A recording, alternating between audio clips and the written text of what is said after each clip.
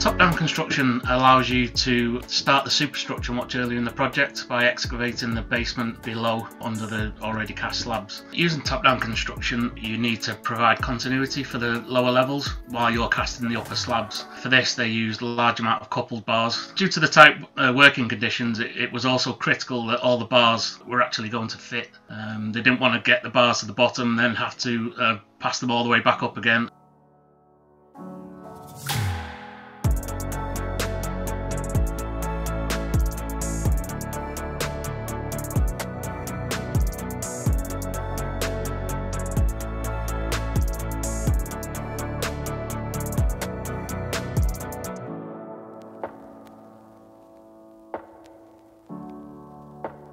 Some of the benefits were the obviously early identification of potential design problems.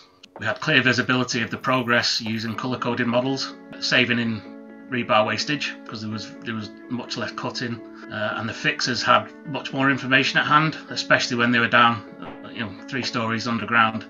They had tablets viewing the model, uh, and this allowed them to, to fix much faster. With top-down construction, uh, three-story basement, the, the use of Tekla uh, minimised the, the amount of problems and complexity, quite fundamental to the, the success of the, the 3D modelling side of it.